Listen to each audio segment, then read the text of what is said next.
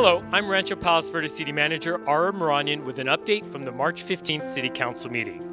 The City Council held an important public hearing on proposed rate hikes for residential waste collection. EDCO, the city's waste hauler, requested the first increase in two years due to a new state law requiring organic waste, such as leftover food, be separated from trash and placed in green bins. EDCO customers will be sent instructions and can learn more by watching the latest City Council meeting on RPV TV or on the city's website at rpvca.gov. Let's stay connected and remember, we are RPV together. Thank you.